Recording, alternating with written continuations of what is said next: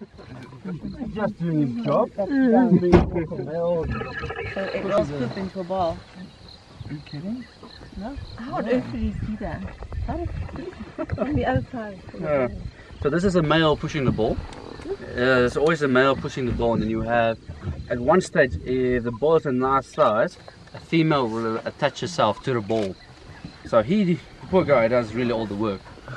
so then, um, so the main reason to push the ball is the female sits on it, the male and female will mate, and the female will lay one single egg inside the ball. And that will be the first food source for the little larvae that comes out, the mm-hmm. little beetle. That will be the first thing for him to eat.